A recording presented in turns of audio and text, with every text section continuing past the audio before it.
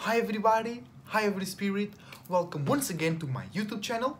Esoteric Cloud Surfer here, ready to start another spiritual astrological video, ready to take a ride in Esoteric Cloud, which is a lighter, less dense, and also vibing on higher frequency and vibration vehicle. Sorry, y'all. In comparison to the bodies that we are using right now, as in mental, emotional, and physical bodies. So when your spirit, your space, jumps into that uh, vehicle, into that creation that is lighter than the actual creations you are in right now, it can fly, it can float to higher, more expanded, wider and wiser realms of reality. So you can have a better perspective and feel lighter about yourself and your current circumstances as well. Before we start the video, remember to check my link tree and Miss Mystaria's link tree in the description down below. Shout out to her. There, there we go. There we go. Shout out to the whole soul group and to everybody out there changing the world right now. Shout out to the Archangel Uriel. Shout out to my Pokemon Unite team Unique Stars. Let's go, let's get it. And uh, remember, you can book uh, readings, services, uh, consultations with me using the email down below, esotericsurfer69 at gmail.com. And you can also donate uh, to me via PayPal using that email, or you can go to my Patreon page, which I'm currently working on, so you can support me and Mysteria directly and get access to more content. So today we are here to talk about a current transit, Venus in Pisces. So Venus right now is in 5 degrees Pisces. At the moment I'm recording this video, so it's already into Pisces, you're already feeling that extra love because Venus is exalted in Pisces. Venus loves to be in Pisces. Everybody loves Venus in Venus in Pisces, but overindulgence is everywhere at, at every corner. All right, so you might overindulge in whatever area of your life Venus is, aka in which house you have Pisces in your chart right? So if you have Pisces first house, you will indulge into personal relationships or you go extra deep into sharing your personal insecurities with somebody that doesn't really care about it and you create meanings and reasons and feelings to justify it. If you have Venus in the um, house you can you can be having sexual relationships with somebody that doesn't really care about you but because venus is in pisces you create you absorb from the world meanings and reasons feelings dreams and illusions.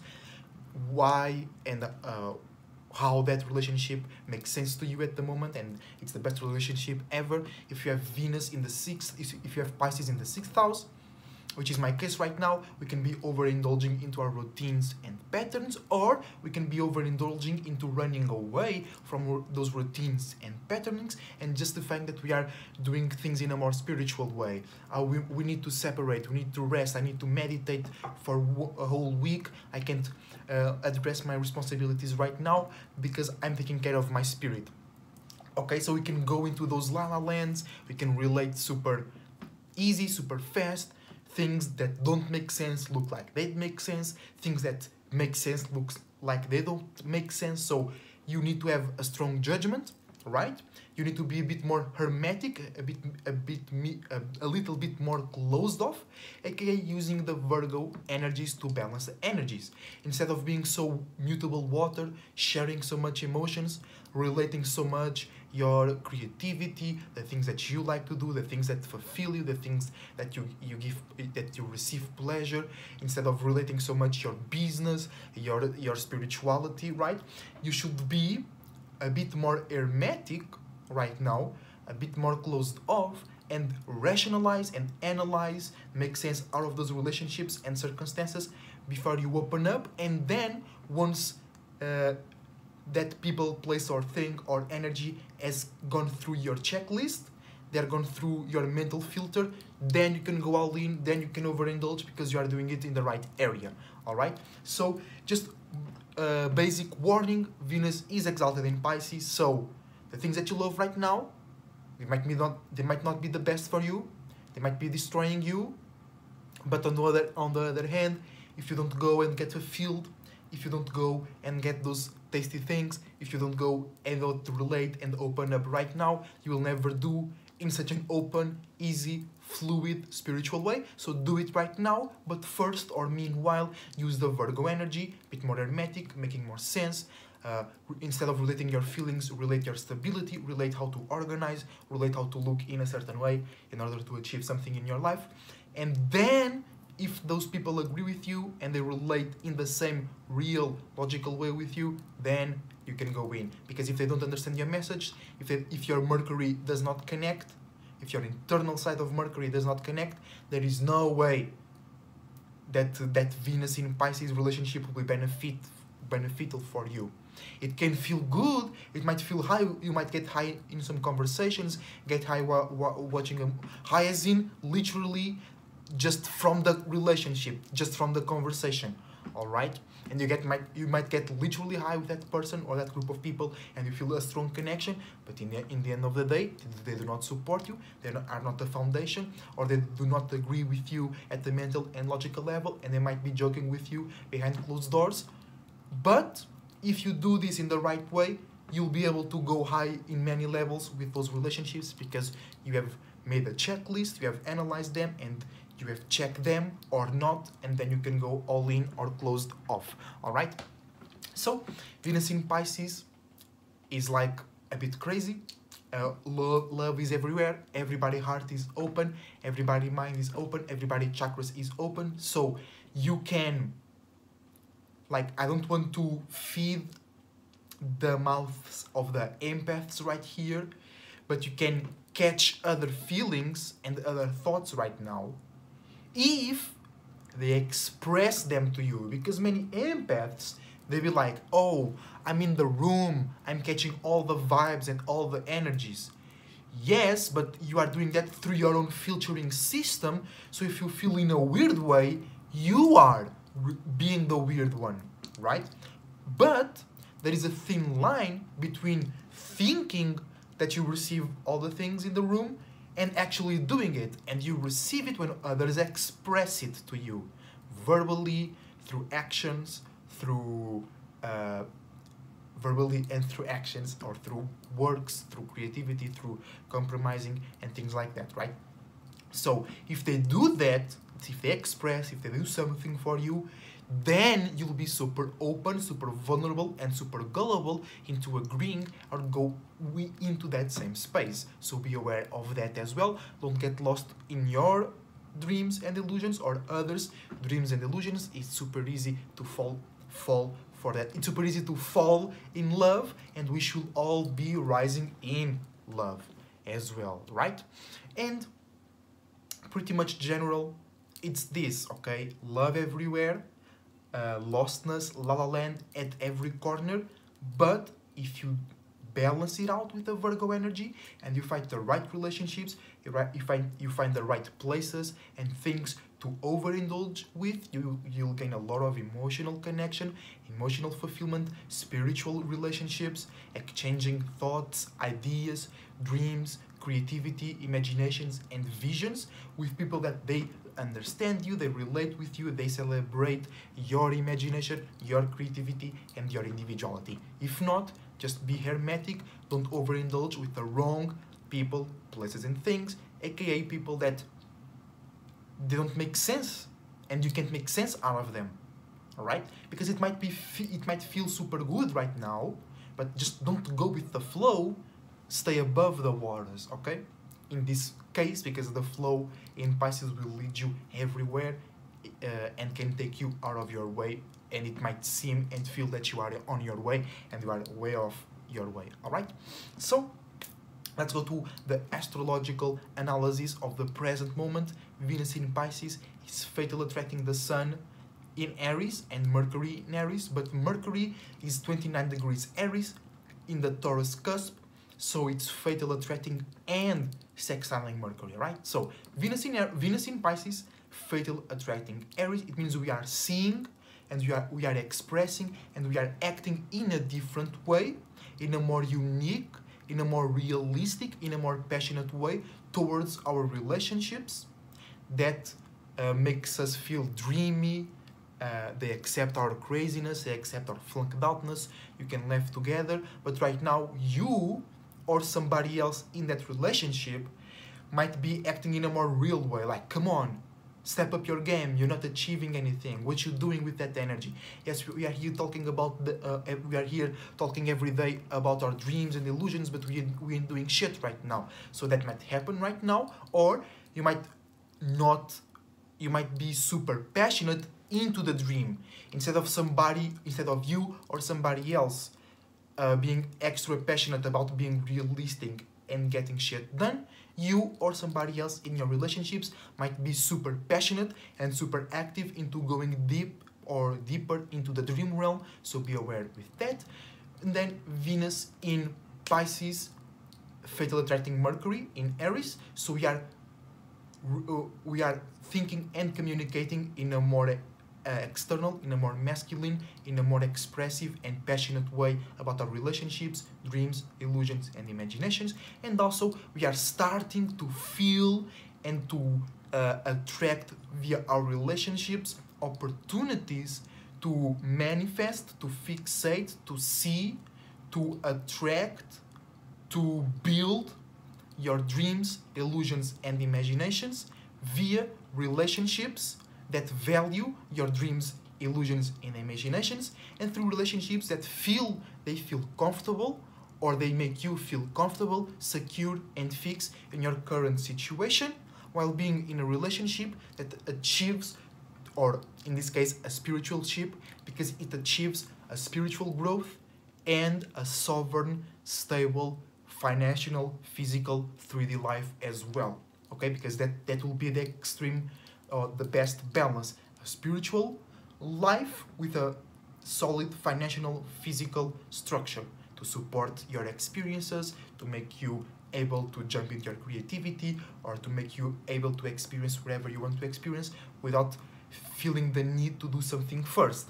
But if you plant bad seeds that's what you're gonna receive from your relationships. Limits boundaries uh, changes out of nowhere because uranus is in taurus uh, instability, people that make you in a box instead of supporting you, instead of them being uh, stepping blocks, they are limiting blocks. You are inside of the block instead of being supported by the block. All right? And they will do that with analyzing, making sense, worrying about stability, uh, worrying about if tomorrow we have the desires that we like to enjoy and we like to fulfill with, right? Then Venus in Pisces is also fatal attracting Saturn and Mars in Aquarius, right? So we are feeling more dreamy, more connective, more uh, seeing more the potential and wanting to believe, wanting to have faith with reality, with relationships, teammates, and partners and associations in the real world in something that you are building when it comes to your personal business or personal projects and we are uh, adding a more realistic a more logical a more communicative and a more dry and unique uh, perspective on how we look at those relationships and how we uh, judge them uh, real or not. Is that association real Yes. And does it feel spiritual? Does it feel dreamy, juicy, Pisces, and creative? Even better. But if it's not like real, and if you feel you can't build with them, you, you probably it's better for you to not go there. All right. But it's like a fatal attraction is all is like always hearing your loud neighbors, and you can't really do much about it. So those relationships might be coming back to your business, to your plan, your structure, and you have to show Saturn, you have to use your Saturn to be like, no, no, no, or yes, yes, yes, because you might be too closed off, you might be too logical, you might be too realistic, you might be misunderstanding how to balance this Venus in Pisces with the Virgo energy and be too stubborn, be too uh, detached and separated using the Saturn in Aquarius energy. And also, we are relating in a more dreamy, more emotional, more receiving, more sharing, more flanked out, and more la la land way about our unique, about our uh, new and original passions, motivations, associations, and team action, team environment where you might get a bit more passionate, you might get a bit more invested into associating, sharing your ideas, or being a part of a team. Right now, with Venus in Pisces, that process will be smoothed out. You might be sharing things that you thought you could you, you wouldn't share with them before they might just slip out of your mouth so pay attention with that you might have some alignment in the eighth house and you sharing something that likely might perturb your sense of privacy and internal structure but it's positive because mars in aries can get too dry can get too masculine can get too uh, bossy and too uh, challenging too pressuring too hard now venus in pisces because it was in Aquarius, right? And now it's in Pisces, it's bringing a way more pacifist, way more connective, way more chilling, way more. I just feel my throat chakra. It's like I'm drinking a juicy ass water, right?